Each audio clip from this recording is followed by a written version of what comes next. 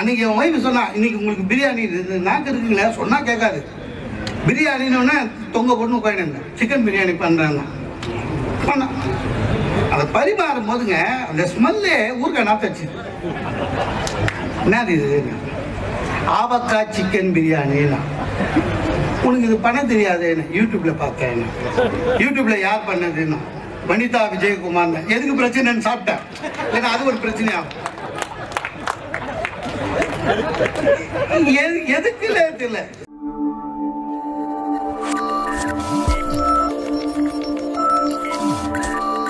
முப்பது அறுபது வயசு ஆனவங்க இருக்காங்களா சார் அவங்களெல்லாம் வணங்கிட்டு ஓரம் வந்துடணும்.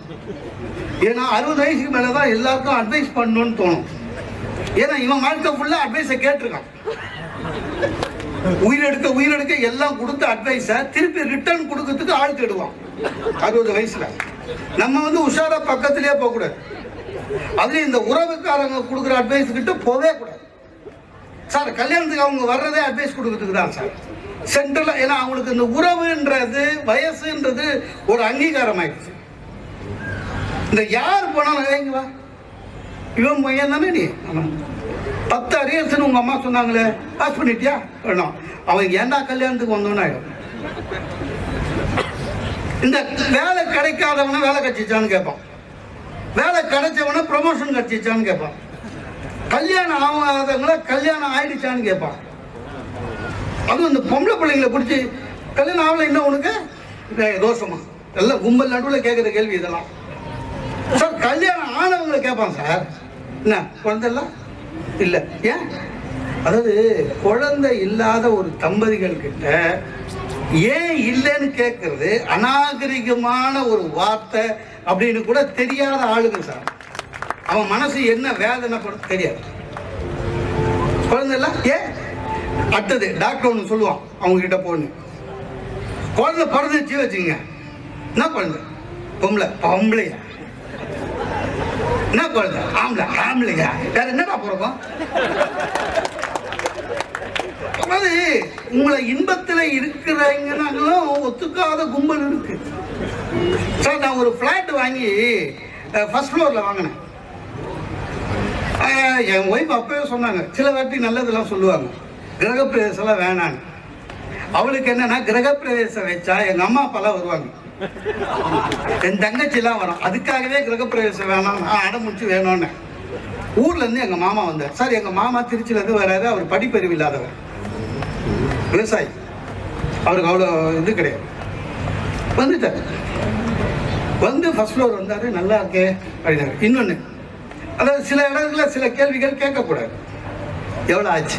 என்னத்துக்கு ஒன்று மீதிலாம் கொடுக்க போறியா கேட்க கூடாதுங்க எவ்வளோ கட்டினானா வாழ்க வளமுடன் வந்துடு அந்த போடுற இட்லி பொங்கல் சட்னி வடை மது வடையோட திரும்பிடு.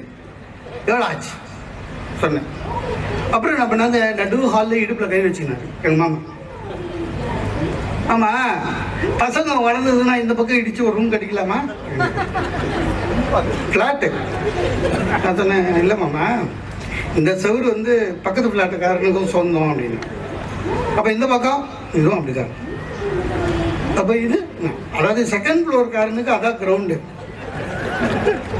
அப்போ இது என்னது? கிரவுண்ட் ஃப்ளோர்காரனுக்கு இதான் சீலிங் என்ன? ஒரு கேள்வி கேட்டாருங்க. ஏண்டா இந்த செவரு கேட்டா உண்டு இல்ல அவந்துன்ற? இந்த செவரு கேட்டா உண்டு இல்ல அவந்துன்ற? அது அவந்துன்ற இது அவந்துன்ற? அறுபத்தஞ்சு ரூபாய் குத்து குத்து என்னடா வாங்கினேன் நீ வெறும் இடம் காத்தா அப்படின்னாரு. எனக்கே பயந்துட்டேன். அது என்ன கேள்வி கேட்கணும்? ஏதோ ஒன்று படிச்சவங்க கூட அப்படிதான் சார் கேட்குறான் என் ஃப்ரெண்டு ரொம்ப பெரிய ஆஃபீஸில் வேலை செய்கிறான் எனக்கு திடீர்னு ஒரு சந்தேகம்டா நான் என்ன இந்த president of India prime minister செக்யூரிட்டிங்க இருக்காங்களே பர்சனல் செக்யூரிட்டி அவங்களாம் எதுக்கு எப்போ பாரு கூலிங் லெஸ் போட்டுங்கிறானுங்க இப்போ அது தேவையாது. நான் சொன்னேன் இல்லைடா எல்லாம் கேட்ராக் சர்ஜரி பண்ணவங்க புற்று அவங்க ஏன் போட்டிருக்காங்கன்றது வேற. உனக்கு தெரிய எது தெரியணுமோ அதை தெரிஞ்சுக்கோ. சார் எது தெரியணுமோ அதை ஒழுங்காக கேட்க மாட்டேன். அது தெரியுமா? தகவல் அறியும் உரிமை சட்டம்னு ஒரு இந்திய அரசாங்கம் எடுத்துகிட்டு வந்தது. என்ன தகவல்? பிரயோஜனமான தகவல். சார் அதில் நூத்தி ஐம்பது ரூபா கொடுத்துட்டு ஒரு கேள்வி கேட்டிருக்காங்க சார். தண்டி யாத்திரையில் காந்தியோடு போனவர்கள் எத்தனை பேர்? ஏன்னா அவங்க எல்லா யாத்திரையும் முடிச்சு போயிட்டாங்கடா. இல்ல உண்மையை கேட்டிருக்கான். இன்னொருத்தன் கேட்டது தான் நேரு பிரதமராக இருந்தபோது அவர் டிரைவர் பேர் என்னன்னு. தெரிஞ்சு என்ன பண்ண போற? அதாவது ஏதாவது ஒரு கேள்வி கேட்கறது. எப்பொழுது உங்களுக்கு துன்பம் வரும்? எப்பொழுதெல்லாம் நீங்கள் மாற்றத்திற்கு தயாராக இல்லையோ அப்பொழுதெல்லாம் துன்பம் வரும். சில பேர் பாத்தீங்கன்னா எங்க காலத்துல ஆரம்பிச்சாங்கன்னா கொண்டுடுவான்னு அர்த்தம். கிட்டே போக கூடாது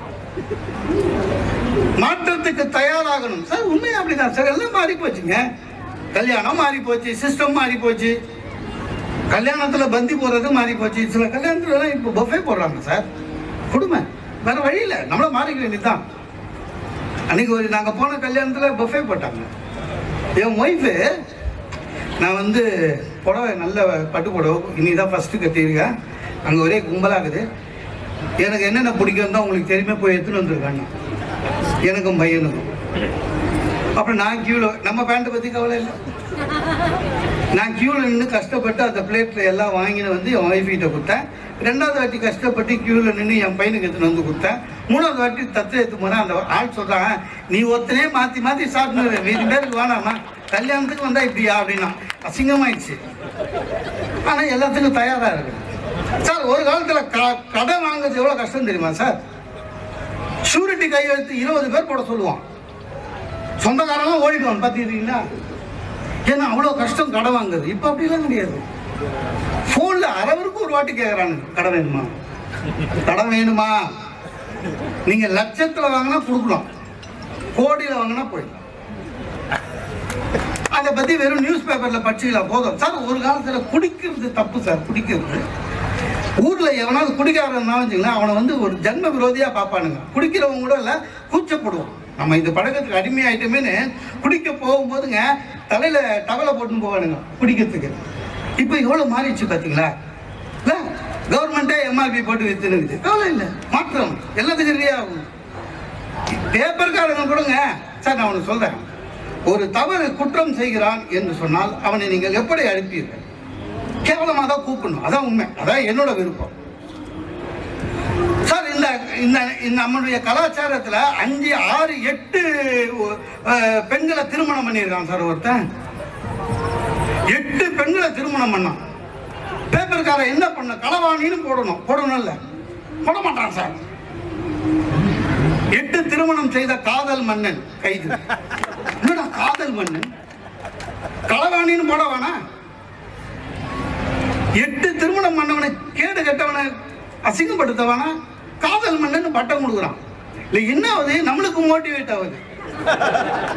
ஓ எட்டு பண்ணா மன்னன் கூப்பிடுவாங்களான்னு.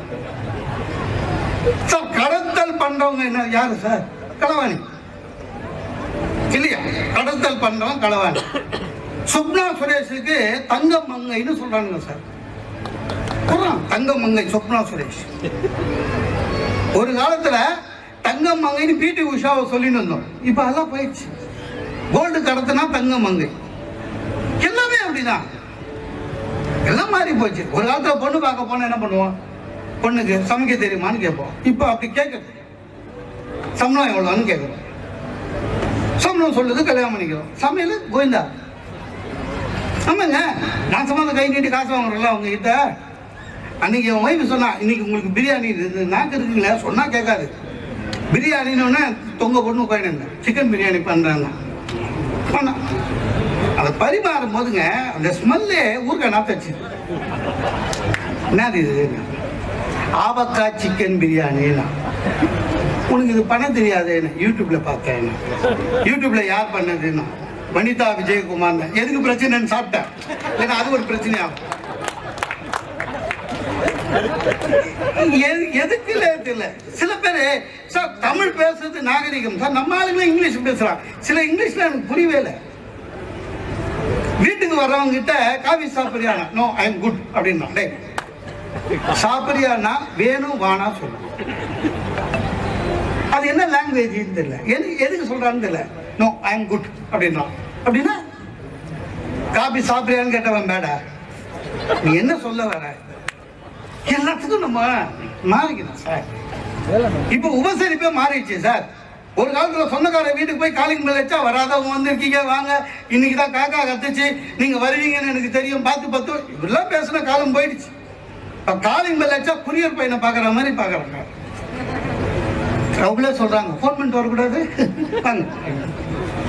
கிரீன் டீ கொடுக்குறாங்க சார். சார் தப்பாக நினைக்காதீங்க. கிரீன் டீ நல்லது ஆரோக்கியம் அதெல்லாம் அடுத்தது. எனக்கு பிடிக்குமா இல்லையான்னு கேட்கணும். இல்லையா? உனக்கு பிடிக்கும். உனக்கு சுகர் இருக்கு. எனக்கு இல்லை. எனக்கு டிகாஷன் காப்பி பிடிக்கும். அட வேணுமான்னு கூட கேட்கறது இல்லைங்க இப்போ எல்லா வீட்லேயும் பேப்பர் டிஸ்போசபிள் கப்புங்க. முன்னெல்லாம் விருந்தாளிகள் வந்தால் அவங்களுக்கு கொடுக்கறதுக்காக வெள்ளி டம்ளர் வச்சுருந்த பாரம்பரியம் நம்மளுக்கு. இப்போ எல்லாம் டிஸ்போசபிள் ஏன்னா உறவே டிஸ்போசபிள் ஆயிடுச்சு. டிஸ்போசபிள் எல்லாம். அந்த கிரீன் டீங்க ஏன்னா பிரச்சனை அதை பால் வேணாம். ஒன்றும் வேணாம். ஒரே ஒரு பேகு சுடு தண்ணி. அதை வேற ரொம்ப ஆட்ட முடியாதுங்க. இவன் வாங்கினது மட்டமான பேகு ரொம்ப ஆடினா உள்ளே பிஞ்சுக்கும். ஏன் அன்னைக்கு ஒரு ஞாயிற்றுக்கிழமை ஃப்ரெண்டு ஒருத்தன் சாப்பிட கூப்பிட்டான். சில பேருக்கு இன்னொரு குணம் இருக்கு. சார் நான் இது தப்புன்னு சொல்லலை. நீங்க எத்தனை பேர் அதில் பய பின்பற்றுறீங்களோ எனக்கு தெரியாது. தப்பு சொல்லலை. ஒவ்வொருத்தருடைய உணவு முறை ஒவ்வொருத்தரும் விருந்தானருக்கு என்ன வேணும்னு கேட்கணும். அதுதான் மரியாதை. இல்லையா? சில பேர் இப்போ சிறுதானிய உணவு சாப்பிட ஆரம்பிச்சிட்டாங்க. நல்லதுதான் உடம்புக்கு. ஆனால் எனக்கு பிடிக்காது. என் ஃப்ரெண்டு ஒருத்தர் ஞாயிற்றுக்கிழமை மத்தியானம் லஞ்ச் எங்கள் வீட்டில் இருந்தான். நான் சும்மா நமக்கு நாக்கில் வாசத்து சரி கிடையாது. என் ஒய்ஃப் கிட்ட இன்னைக்கு உன் சாப்பாட்டுலேருந்து விடுதலை அப்படின்னு நக்கலாக சொல்லிட்டு ஃப்ரெண்டு வீட்டுக்கு போயிட்டேன். போனா அந்த டைனிங் டேபிளை பார்த்தவொடனே மூஞ்சி சின்னதாச்சு. ஏன்னா நிறைய பதார்த்தம் எதிர்பார்த்தா மூணே மூணு போட்டு மூடி வச்சுக்குது. உட்கார்ந்தேன் சார். நல்ல பசி. உட்கார்ந்தா என்ன மெனு? அப்படின்னு. என் ஃப்ரெண்டு ஒய்ஃப் சொன்னாங்க குதிரவா குதிரவாளி சாப்பாடு சாம வடை அஹ், நான் எதிர்பார்த்துன்னு வந்தது விசேஷமா ஆம வடை கிடைக்குமா? நம்ம சிக்கன் மட் மட்டன் ஒன்றும் கிடையாது. அப்புறம் ஒரு வழியா நானே அமைதியாகி இல்லைங்க நீங்க அந்த சாதம் போட்டு உடம்பு ஒரு மாதிரி இருக்கு. ரசம் மட்டும் ரசம் இருக்கா? ஆ கொள்ளு ரசம். நான் வந்து லைட்டாக குதிரை லாயத்துள்ள இருக்கிற மாதிரியே ஃபீல் பண்ணேன். அப்புறம் வெளியில் வந்து என் பிறப்பத்துக்கு முன்னால் என் ஒய்ஃபுக்கு ஃபோன் பண்ணி ஒன்றும் இல்லை ஒன்றும் இல்லைனா கூட பரவாயில்ல ஒரு கொஞ்சம் தொகையில் மட்டும் அரைச்சி வை ரசம் சாதம் சாப்பிட்டுக்கிறேன்னு வந்துட்டேன்